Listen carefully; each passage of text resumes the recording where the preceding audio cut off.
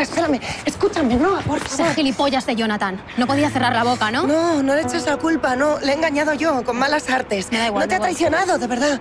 Escúchame, por favor. Ya sé todo lo que me vas a decir y paso. Soy Lore. Tu tía Lore. La oveja negra de la familia.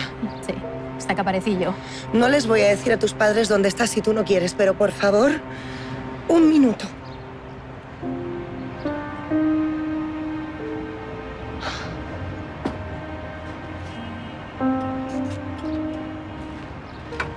Saben que estoy en Madrid.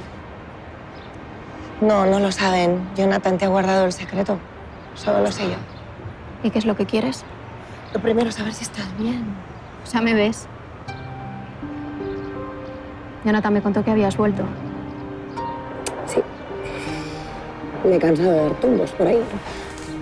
Pierdes el tiempo, Lore. No me vas a convencer de que haga como tú, yo no voy a volver. Ay, no, así es que tú eres exactamente como era yo. Te has ido haciéndote la fuerte, diciendo que no necesitas a nadie. Es que no necesito a nadie. No es verdad. Porque si no, no mantendrías el contacto con Jonathan. Bueno, ahora queda claro que eso ha sido un error. Tengo el dinero que le has pedido. Pues dámelo y deja que me marche, por favor. Estás metida en un lío. ¿Tienes algún problema? ¿Te pasa algo? No, no, no, no, que va. Mira, Lore, lo único que quiero es que me dejéis en paz.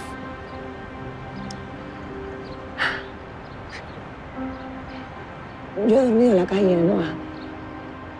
He vagado por ciudades sin dinero. Lo he pasado realmente mal. La vida, Noah, puede ser muy cabrona. Solo quiero que si te pasa algo, si se tuercen las cosas, sepas pedir ayuda. Sé cuidar de mí misma. Además, has dicho que no me ibas a soltar la charla y es justo lo que estás haciendo. Mira, si no me quieres dar el dinero... Antes necesito que me escuches. Tía, no me vas a decir nada que no haya escuchado mil veces. Sí, te voy a decir que tus padres están desquiciados, que están yendo a terapia.